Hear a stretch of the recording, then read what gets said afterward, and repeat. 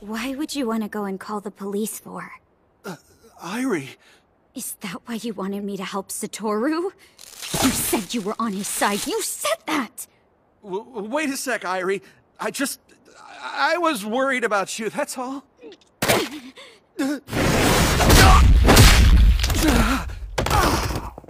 If all you wanted was to get him caught, you should have told me the truth! I trusted you! I trusted you and you lied to me! I didn't want to see you get hurt. I swear. That I believe. I'm sorry. Boss, please. If you're really worried about me, then don't call the police over here. I don't want my family getting involved in this.